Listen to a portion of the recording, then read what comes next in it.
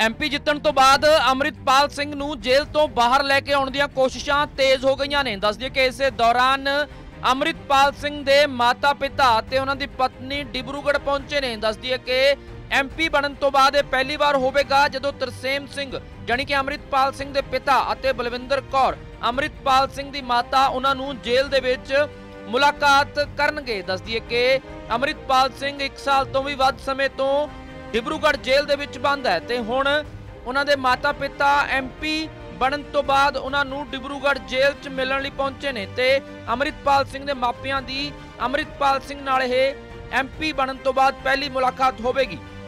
ਦੱਸਦੇ ਕਿ ਇਸ ਤੋਂ ਪਹਿਲਾਂ ਕਿਰਨਦੀਪ ਕੌਰ ਅੰਮ੍ਰਿਤਪਾਲ ਸਿੰਘ ਦੀ ਧਰਮ ਪਤਨੀ ਦੇ ਵੱਲੋਂ ਉਹਨਾਂ ਨਾਲ ਮੁਲਾਕਾਤ ਕੀਤੀ ਗਈ ਸੀ ਤੇ ਹੁਣ ਜਦੋਂ 에ਅਰਪੋਰਟ ਤੇ ਪਹੁੰਚਦੇ ਨੇ ਅੰਮ੍ਰਿਤਪਾਲ ਸਿੰਘ ਦੇ ਮਾਤਾ-ਪਿਤਾ, ਤਾਂ ਉਹਨਾਂ ਦਾ ਸਵਾਗਤ ਕੀਤਾ ਗਿਆ ਹੈ ਕਿਰਨਦੀਪ ਕੌਰ ਦੇ ਵੱਲੋਂ। ਦੱਸਦੀ ਹੈ ਕਿ ਰਿਕਾਰਡ ਤੋੜ ਵੋਟਾਂ ਦੇ ਨਾਲ ਅੰਮ੍ਰਿਤਪਾਲ ਸਿੰਘ ਨੇ ਜਿੱਤ ਪ੍ਰਾਪਤ ਕੀਤੀ ਹੈ। ਲੋਕ ਸਭਾ ਹਲਕਾ ਖਡੂਰ ਸਾਹਿਬ ਤੋਂ 197000 ਤੋਂ ਵੀ ਵੱਧ ਵੋਟਾਂ ਦੇ ਨਾਲ ਪੰਜਾਬ ਭਰ ਦੇ ਵਿੱਚੋਂ ਸਭ ਤੋਂ ਵੱਡਾ ਮਾਰਜਨ ਅੰਮ੍ਰਿਤਪਾਲ ਸਿੰਘ ਦਾ ਰਿਹਾ ਏ। ਤੇ ਹੁਣ ਅੰਮ੍ਰਿਤਪਾਲ ਸਿੰਘ ਨੂੰ ਜੇਲ੍ਹ ਚੋਂ ਬਾਹਰ ਲੈ ਕੇ ਆਉਣ ਦੀਆਂ ਕੋਸ਼ਿਸ਼ਾਂ ਵੀ ਤੇਜ਼ ਹੋ ਗਈਆਂ ਨੇ। ਦੱਸਦੀ ਦਈਏ ਕਿ ਉਹਨਾਂ ਦੇ ਵਕੀਲ ਦੇ ਵੱਲੋਂ ਵੀ ਇਹ ਕੋਸ਼ਿਸ਼ਾਂ ਕੀਤੀਆਂ ਜਾ ਰਹੀਆਂ ਨੇ ਤੇ ਹੁਣ ਪਰਿਵਾਰ ਜਿਹੜਾ ਏ ਉਹ ਅੰਮ੍ਰਿਤਪਾਲ ਸਿੰਘ ਨੂੰ ਮਿਲਣ ਦੇ ਲਈ ਡਿਬਰੂਗੜ੍ਹ ਜੇਲ੍ਹ ਪਹੁੰਚਿਆ ਏ ਕਿਰਨਦੀਪ ਕੌਰ ਪਹਿਲਾਂ ਤੋਂ ਹੀ ਇੱਥੇ ਮੌਜੂਦ ਸੀ ਤੇ ਹੁਣ ਅੰਮ੍ਰਿਤਪਾਲ ਸਿੰਘ ਦੇ ਮਾਤਾ-ਪਿਤਾ ਵੀ ਉੱਥੇ ਪਹੁੰਚੇ ਨੇ। ਦੱਸ ਦਈਏ ਕਿ ਇਸ ਤੋਂ ਪਹਿਲਾਂ ਅੰਮ੍ਰਿਤਪਾਲ ਸਿੰਘ ਦਾ ਪਰਿਵਾਰ ਇਹ ਦਾਅਵਾ ਕਰ ਚੁੱਕਿਆ ਕਿ ਜਲਦੀ ਹੀ ਅੰਮ੍ਰਿਤਪਾਲ ਸਿੰਘ ਹੁਣ ਜੇਲ੍ਹ ਤੋਂ ਬਾਹਰ ਆ ਜਾਣਗੇ। ਤਾਂ ਐਨਐਸਏ ਦੇ ਤਹਿਤ ਅੰਮ੍ਰਿਤਪਾਲ ਸਿੰਘ ਜਿਹੜੇ ਨੇ ਉਹ ਅਸਾਮ ਦੀ ਡਿਬਰੂਗੜ੍ਹ ਜੇਲ੍ਹ ਦੇ ਵਿੱਚ ਬੰਦ ਨੇ, ਪਰ ਹੁਣ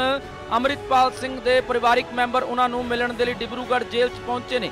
ਦੱਸ ਦਈਏ ਕਿ ਇਸ ਤੋਂ ਪਹਿਲਾਂ ਉਹਨਾਂ ਦੀ ਪਤਨੀ ਕਿਰਨਦੀਪ ਕੌਰ ਦੇ ਵੱਲੋਂ ਵੀ ਅੰਮ੍ਰਿਤਪਾਲ ਸਿੰਘ ਦੇ ਨਾਲ ਮੁਲਾਕਾਤ ਕੀਤੀ ਗਈ ਸੀ ਡਿਬਰੂਗੜ੍ਹ ਜੇਲ੍ਹ ਦੇ ਵਿੱਚ ਤੇ ਹੁਣ ਅੰਮ੍ਰਿਤਪਾਲ ਸਿੰਘ ਦੇ ਮਾਪੇ ਪਹੁੰਚੇ ਨੇ। ਤਾਂ ਇਹ ਤਸਵੀਰਾਂ ਤੁਹਾਨੂੰ ਉਦੋਂ ਦੇ ਦਿਖਾ ਰਹੇ ਹਾਂ, ਜਦੋਂ 에ਅਰਪੋਰਟ ਤੇ ਪਹੁੰਚਦੇ ਨੇ ਮਾਪੇ, ਤਾਂ ਕਿਰਨਦੀਪ ਕੌਰ ਦੇ ਵੱਲੋਂ ਉਹਨਾਂ ਦਾ ਸਵਾਗਤ ਕੀਤਾ ਜਾ ਰਿਹਾ ਹੈ ਤੇ ਅੰਮ੍ਰਿਤਪਾਲ ਸਿੰਘ ਨਾਲ ਮੁਲਾਕਾਤ ਹੋਵੇਗੀ।